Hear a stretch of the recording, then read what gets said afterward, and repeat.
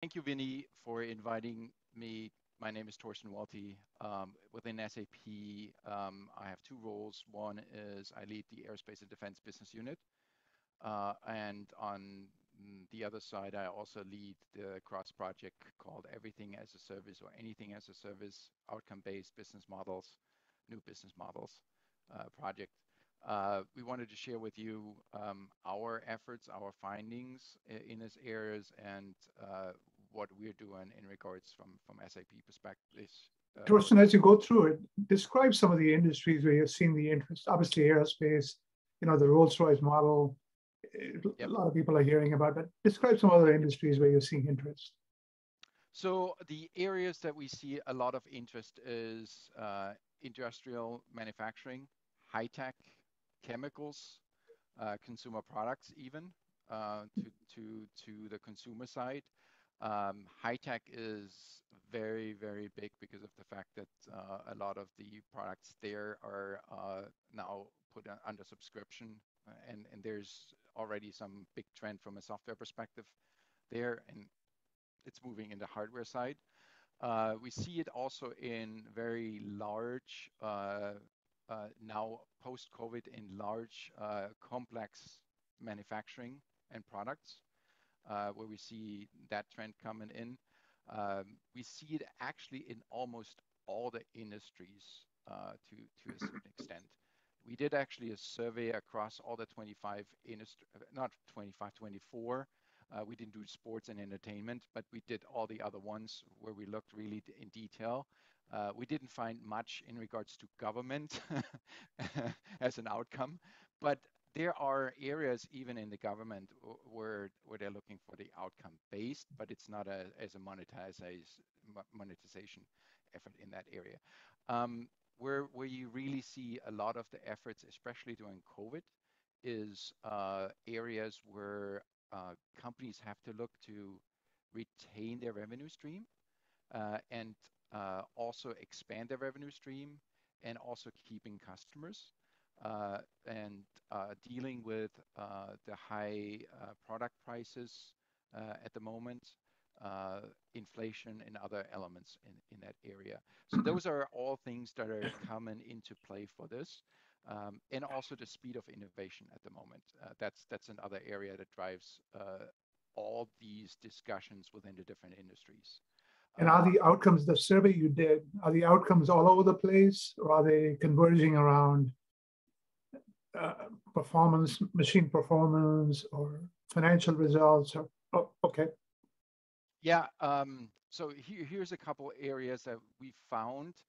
Um, that are really really interesting and and what what we did actually we grouped uh, which which you will see a little bit later but uh, to answer your question we grouped actually the outcome based areas uh, as you nicely pointed out there's uh, companies and industries that have dealt with those for many many years. Rolls-Royce as you mentioned before is is a veteran of 15 years in this area which uh, started with power by the hour. Um, so you have kind of hardware-centric companies that build services around to basically move into more of a consumer consuming perspective and uh, how their customers can use it uh, to services based where you have a service and you uh, uh put things around it or software based uh, right so those three categories we actually looked at it from, from, from that area. And there are some similarities when you look at these different streams in that area. But we also, from, from your perspective, what are some of the reasons why those folks go into that uh, segment? We see very much uh, drivers around revenue, customer attainment, or opening new market segments, right? Those are really, really, really big uh, drivers in that area. And now with sustainability, that's another layer that we see is coming back into it. And I'll explain to you in a, in a little bit why that is coming and what we are doing from, from that perspective. So as I said before, uh, the, the revenue piece is really, really, really big. Uh, how do you grow your revenue? How do you market that area? Uh, that's that's super, super, super, super critical. We see also, and there is actually support not from what we just shown here, but um, I recently uh, picked up the book from uh, from the St. Uh, University. They have done a, a study with uh, Boston Consulting Group that the the revenue uh, itself of the companies are way higher and stronger, and the growth of it is higher by going into that area. Yes, it is a shift. Yes, it is an organizational, uh, you know, change, paradigm change when you go from selling a product to selling an outcome. Uh, but what, what, what you see is in that beginning stage, it has an impact on the revenue. But if you are um, in, in an economical crisis, like, uh, such as like Rolls-Royce had or others, and shift in that uh, time over to that new business model, the expectation to the market is uh, completely different, and you come actually out of the crisis much stronger because you have a product and a service that looks at at a, an easier way of consumption for your customers, and it's very much tailored to your customer needs, uh, and and drives actually way different product designs in that area. You know, you, it's also more aligned with the customer, right? So I talked to Nick Ward at Rolls Royce, and I said, you know, 2020 must have been brutal, right? Because they takeoffs were down, and he says, you know, that's right, but how many engines would we have sold if we had stuck to the old model, right? He says, we are actually more aligned with the customer's business. If, they weren't flying, we weren't making money. So that that really resonated for me. Yeah, and if you take this right, the, the discussion, um, you know, post COVID now, if you look at an airline, um, now they have to really look at their their cost model, right? To acquire an engine, that's an that's 60 70 million dollars uh, you know for an engine or, or a pair of engines you know that is at this time when you start up again uh, that's just a huge expense right? And if you stay with the servitization or outcome based models the threshold to get into the market uh, to get engaged with a customer is just way lower lower and you can actually get more services out of it. The other piece, the other trend that we found is uh, the products itself, because of most of the servitization areas, and this is to the area down uh, on the bottom, is because of the fact that you shift from a capex to an opex, it is much easier for them to engage in it. It's much easier to get that uh, that contract through your your cycle, especially in uh, areas of mm-hmm. crisis right? Uh, or economic situations or it startups puts, of businesses. Yeah. It puts the capital uh, capital owners to owner um, on the provider, right? Yeah, yeah, yeah. And we saw in technology a lot of technology vendors in the last 20 years pretend as if it wasn't their responsibility, right? So that's um, that is, and they lost out, right? You've seen it in the infrastructure market where Amazon and Microsoft made the investments, many others did not. So, and and to your point, so you see that shift of innovation too. So from a hardware perspective, as you rightly pointed out, you have way higher cycles of innovations going on, right? If you as a data center don't keep up with the latest chips and deploy them and have cycles to bring them in, that is just putting you behind the curveball. so we see that from a high tech perspective, you know, from a hardware perspective, that the cycles of innovations are way faster. And in order to get there, it's it's let's keep that with the experts, right? Let's keep that with the guys that can offer me the service of it. And I don't want to invest every quarter, every six months, every year in a new set of hardware and technology and services. And I don't want to deal with cybersecurity around it, right?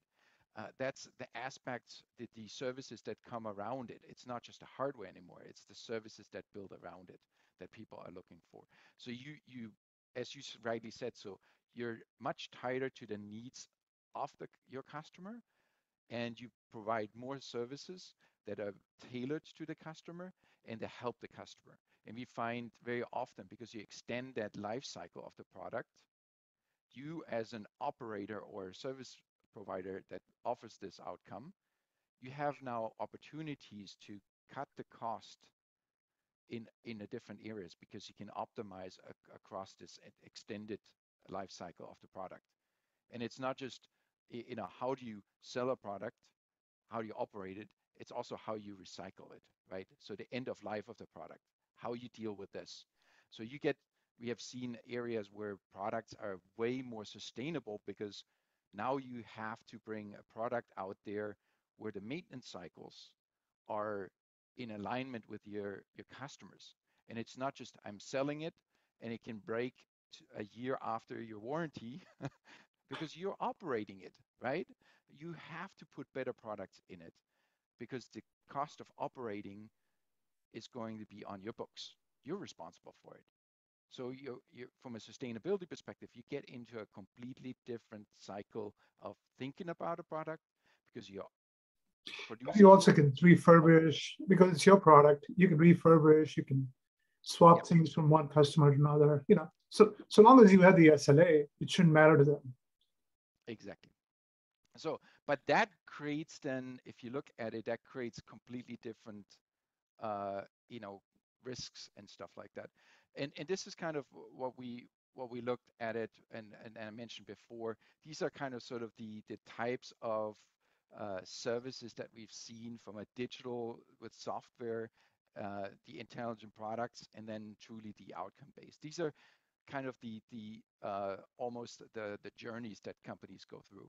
And and on the right hand side, just a couple of companies that we looked at and how they deal with those uh, areas, right? And each of these have different flavors, right? And it's a different way to get into those those uh, uh, uh, engagements. Uh, th these are just a couple of customer reference stories. I'll send you uh, the, the details around it. But what you can see is it's exactly that journey of selling a product, if it's a software or hardware, to truly using technology to manage the entire end-to-end -end process, right? And what I mean by that, it's not just a financial piece. Because of the fact that you're taking responsibility of another segment of the life cycle of the product uh, that was previously not under your jurisdiction, so to say, uh, you have to have technology in place to give you that information so you can, you know, almost have early warning systems what's going on in that, that area. Sometimes the hardware or even the software is used by your customer, right? How they use it, how they uh, uh, put it in service is completely different. You may have not thought of it, right? But now as you operate those things or provide the outcome and you have the SLA, you're responsible for that. So are you seeing, are you, as a result, are you seeing more digital twins and is that SAP providing it, or are you partnering with somebody to provide that capability? So you're absolutely right. Uh, the digital twin component is coming into the picture here uh, out of uh, out of two aspects. Uh, one, because of the fact that you want to simulate, especially in any of the hardware products, that you want to simulate how is that product used for that environment, right? So upfront that you get the right product in place uh, in it. Also from a perspective of life cycle, if you understand completely the makeup of the product and you have the digital twin of manufacturing and then the digital twin of uh, operations, then you can manage this process much easier. And you can share some of those uh, elements also with your customers and refine the design based on on your your your learnings and your SLAs. Um, we have uh, in SAP quite a bit of the digital twin components of it. Uh, we are partnering with Siemens and the other ones on the design side, right? Uh, but then how do you take the design twin over into operations and the operational twin? Uh, that's uh, in the SAP area. We have a solution in there. And what we actually find is very often you have a mix of digital twins and digital twin software providers in the marketplace. right? Um, does that mean you know SAP is maybe not looking at the design? Yeah, with our PLM solutions in partnership with Siemens, we can provide that element as well. But also from an AIN perspective, which is the Asset Intelligent Network, from an operation perspective, we can take that manufacturing twin and bring it in, into the, the operational side of the house and manage it all the way through, right? And also see what the impact is of the operation to the twin. Hagen, one of your colleague, Hagen from the automotive group said one automaker is actually looking at putting that for every one of their cars out there. That would be that would be amazing how much data that would generate. By the way, yeah, uh, I I agree. If you look at uh, how much data our friends at Rolls Royce that you asked before put together, it is it is uh, just alone that uh, it is a lot of data, right? Uh, there is for the A380, I think uh, if you have a, a flight of an A380, uh, at some point of time, I, I heard the number of one terabyte of data being created. Uh, so you can, for my industry, uh, why I'm super passionate about this is because of the experience we have with Rolls-Royce and within the industry and the health monitoring uh, tools that are out there. Um, it it really feeds nicely into uh, the overall outcome-based area, right? Because you have to understand how the the products are uh, used. You have to have the, the health monitoring pieces to it. You have to align it with your risk uh, around the SLAs and your business models to it. Because if you don't uh, bring all these elements together, uh, it, it is going to be just a, a leakage of, of, uh, of margins, right? It, it, it will be extra cost and that, that will take all that part out of it. So managing the cost, managing the operations, managing the product and the making of the product throughout outcome-based. Uh, no matter if you do this as a subscription, if you do that as a outcome-based contract, if you do this as a rental, that is super, super, super, super important.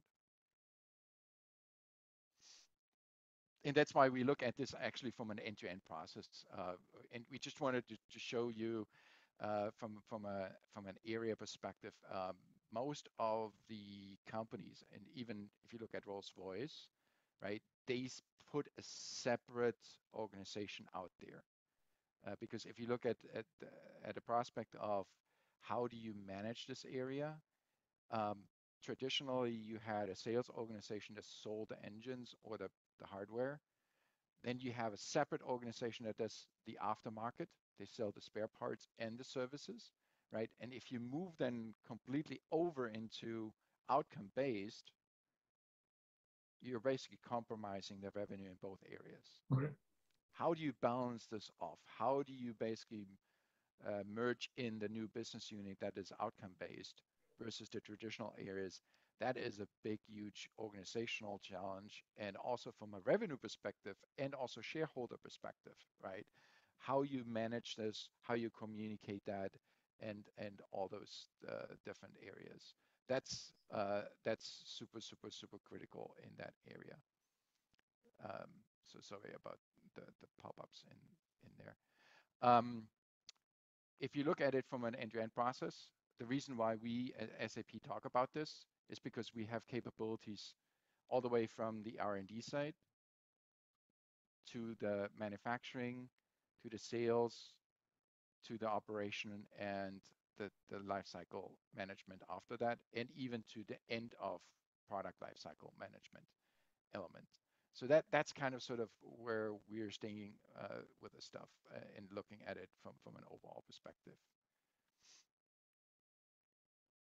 And just just giving you a couple of the areas. And one of the the really important discussions that we see uh, where a lot of companies end up first is really in the, as you said, the SLA and the billing piece, and how you manage basically your your uh, charging uh, capabilities out in that marketplace. That's that's uh, something super super important where a lot of the companies start with, and uh, we're fortunate with the uh, with our teams in the uh, BRIM area to, to go about these areas. So, Torsten, what I'm hearing is in the market, obviously subscription revenues with Zuora and others has become more sophisticated. But it seems like outcome-based contracts are still the tools are all over the place. A lot of spreadsheets still being used. But would you say that's that's true? That's the state of the market. I, I would say that's where a lot of the companies start with. Uh, there are companies that are highly sophisticated uh, uh, in the area.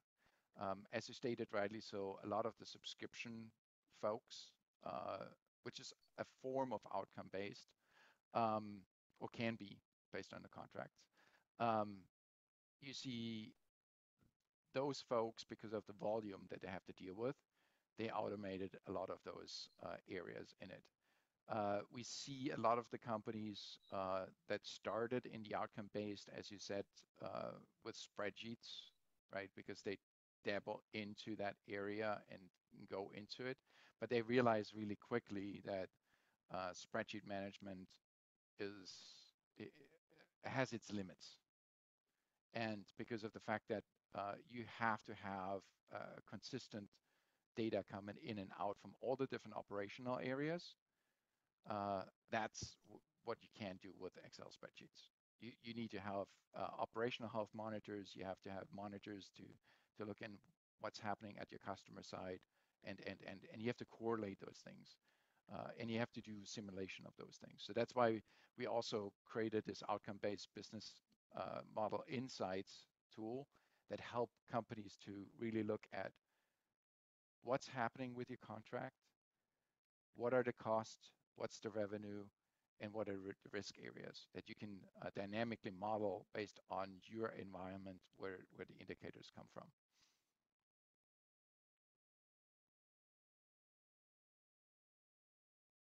Okay. I hope that made sense.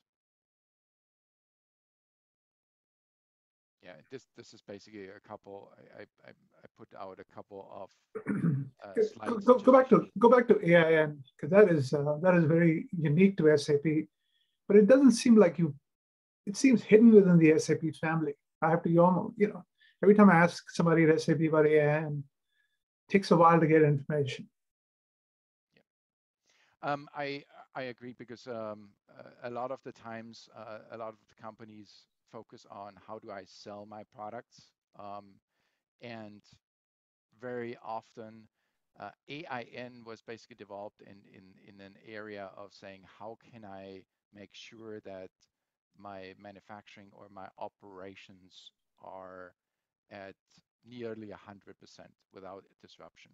And how can, can I bring my partners in to make sure that my operations are visible to my partners and they can do the best to keep me at 100% uptime, right? Um, planned uptime, not uh, when you have scheduled downtimes, that that's part of a normal series, but the unplanned part that you reduce that as as uh, much as you can, right? and you can do that by showing visibility to your partners in it, the, the guys who make the machines and fix the machines, that they have visibility into this.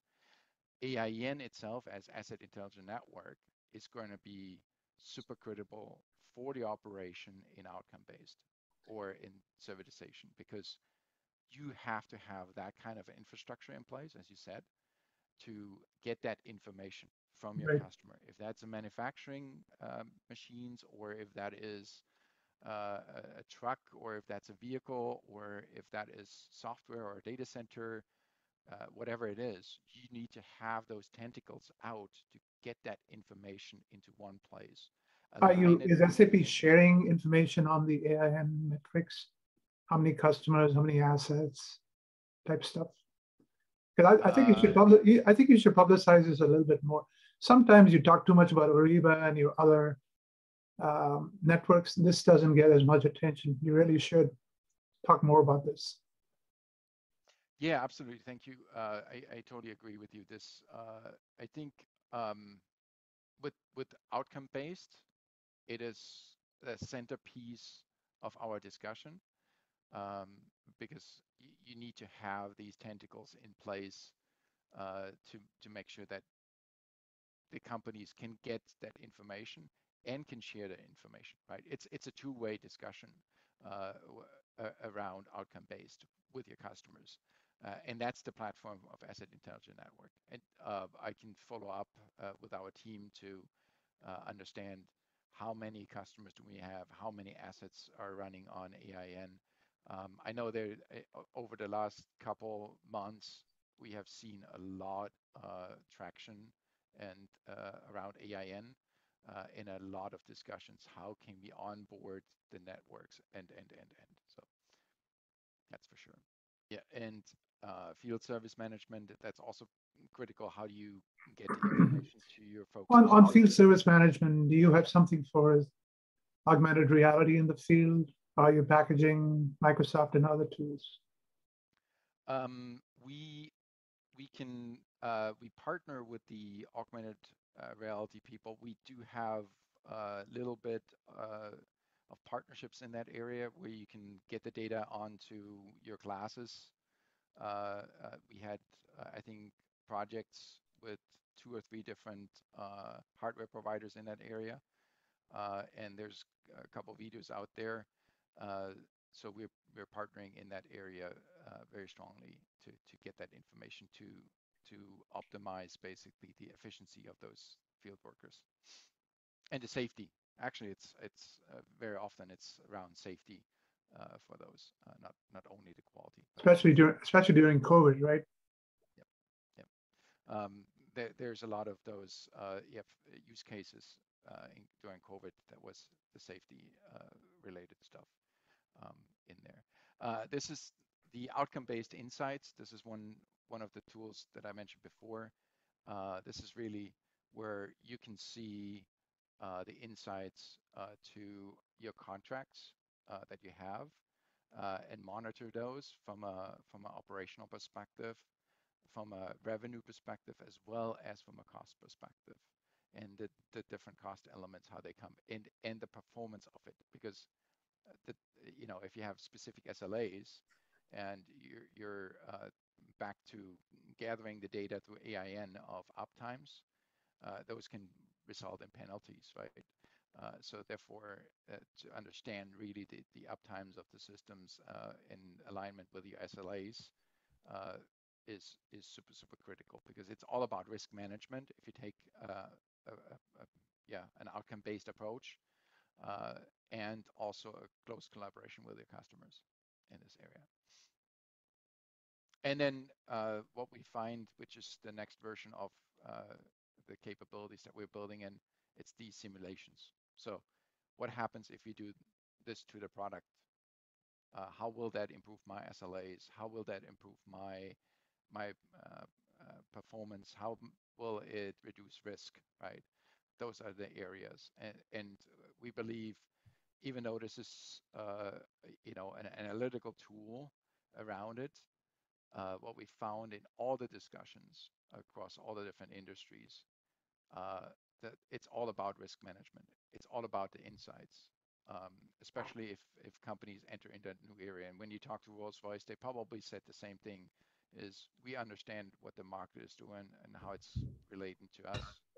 We wanted to understand how our customer X is using it, uh, what's happening there, what's what's the impact from from a service management perspective, from an uptime perspective, from a cost perspective. Um, and so it, it's it's all about getting the insights into those operational areas, and it's an end-to-end process. It's not just uh, you know stovepipe, I'm field service, or I'm spare parts. It is truly, you know, the design, operate, and end of life. I don't know what you mentioned chemicals. I don't know uh, where do you see outcomes there.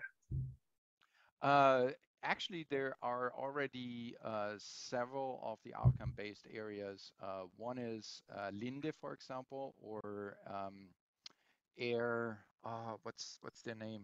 They're filling. They're providing uh, these gas tanks, and they oh, already yeah. have some subscriptions. Air liquid. Air liquid. Air liquid. Yeah, yeah, exactly. Thank you. Um, it just popped out of my mind.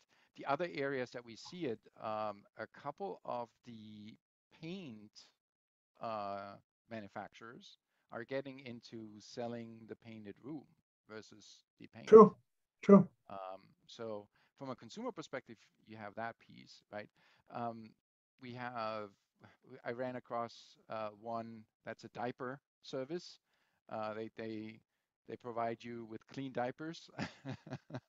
it's a monthly subscription and uh, uh, it, th those areas. I ran across a furniture company in Germany that is providing furniture as a service um, to to other areas. I, I think um, we will see more and more uh, in that area where velocity, especially for uh, around. I don't know, Torsten, we're not that old. We don't need diaper as a service. yeah, I, I, I, I, mean, you can see that uh, it, it uh, gets into right. market areas that uh, some people may have never thought of it, right? Uh, I, you know, this is for a long time we were hearing about outcome based. I think in the last year, it's really accelerated. Maybe the COVID has done it, or maybe the uh, market has become more sophisticated. Tools are becoming more sophisticated, so people are able to apply it more. Yeah. No, I think uh, you're absolutely right. It's it's the it, it's I think what I see it's three influence factors. One is we have the tools now we have the digital tools that allow us to manage this in a different way. Uh, number two is um, there is a trend of higher innovation and not constantly go and buy the next iPhone or the next tool with the next features. Uh, and uh, three, so it's a next generation of buyers in there. And I think it's also um, accelerated by COVID. Uh, what I mean by that is uh, there is some buying happen, habit, habits that completely changed uh, in people.